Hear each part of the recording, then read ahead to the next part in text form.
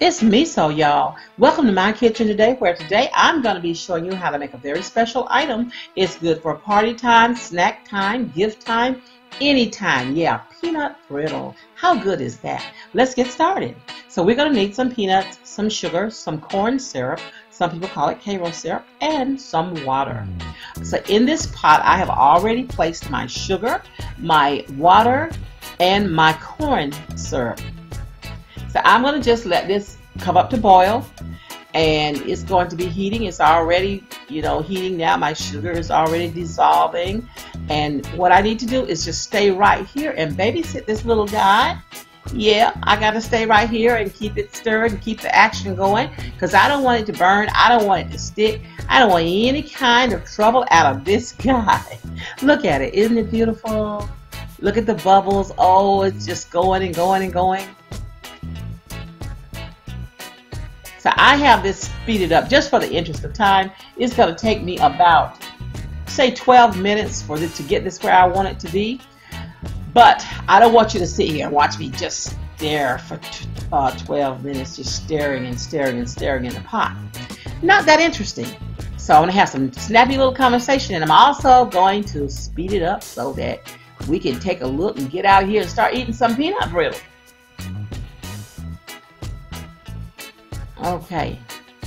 Now, believe it or not, this is just sugar and corn syrup and water, and it smells good already. I know some of you are like, Lisa, what's wrong with you? But it does. I kid you not, it smells good. Look and look.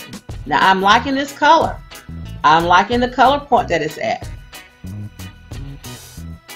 Let me go ahead and test this. I have a bowl with water and ice in it, and I'm going to just drop some of this syrup down here and see what it's like. So it's not hard. It's soft. It's malleable. Uh, this is a soft uh, boil stage, and this is about where I want it. So I'm going to go ahead and get my peanuts in, y'all. That doesn't look like enough. Let me add some more peanuts. So I just put in here a 16 ounce can of peanuts.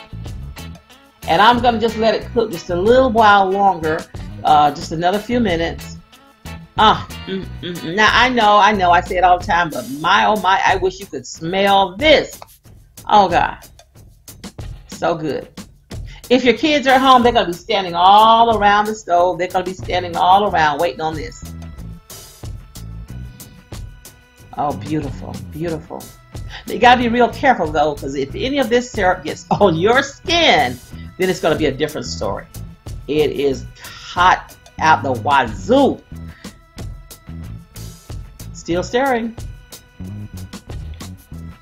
That's all this video is, just a video of staring. okay, so I just cut the heat off of this and um, I just added a, a, tablespoon of vanilla flavoring.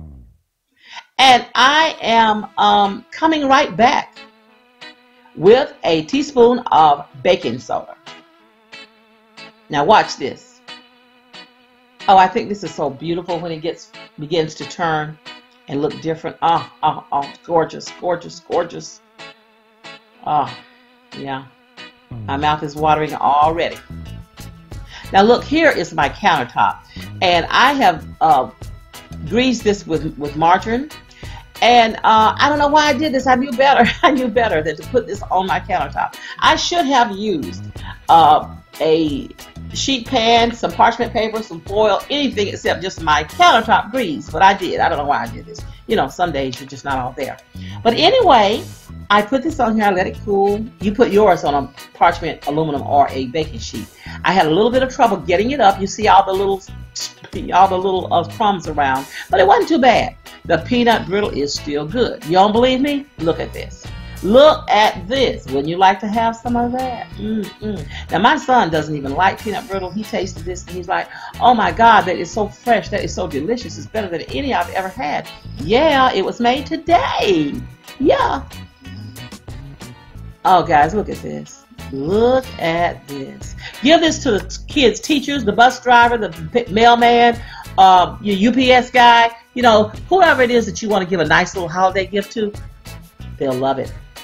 I want to thank you guys for coming by my channel today because you knew I'd be throwing down. I'd be cooking something good. So I want to thank you. Guys, if you like my channel, I want you to share it with wherever you're active on social media. I want you to subscribe. I want you to comment. I want you to give me a thumbs up. Hey, go out in the world, share some of your special brand of love today. Bye bye.